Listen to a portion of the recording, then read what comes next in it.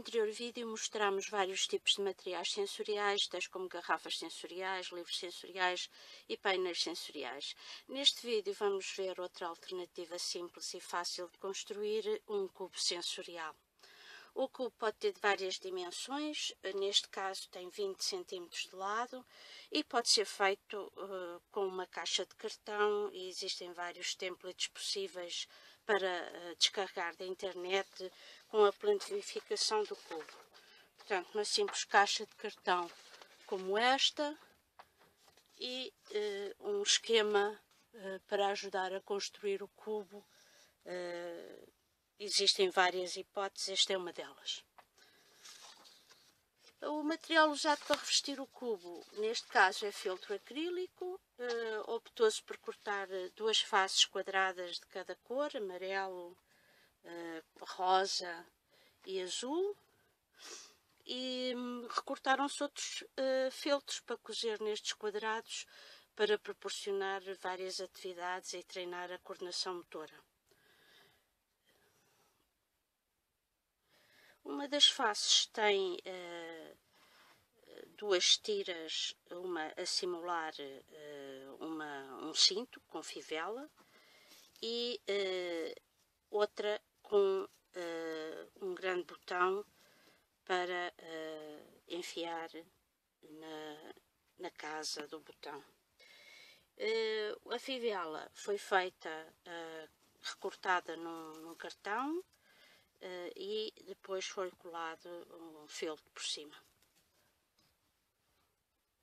Outra face tem uma boneca, uma boneca com cabelo de lã e que tem uns braços e pernas feitos de elásticos que prendem lateralmente com uh, botões.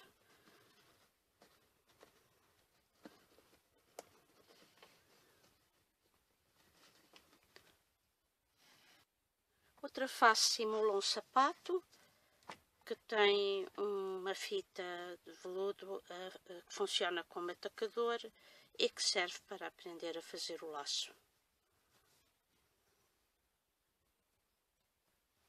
Outra face simula um colete uh, para uh, enfiar botões.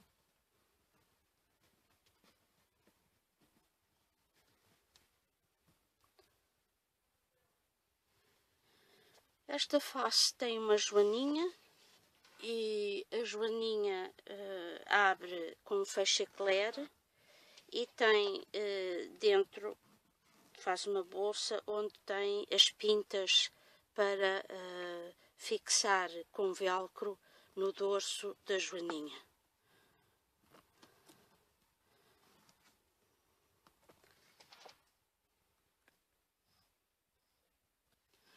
A última face é uma uh, almofadinha com forma de estrela e que sente. Portanto, tem uma lâmpada de toque, de pressão, um LED que uh, acende.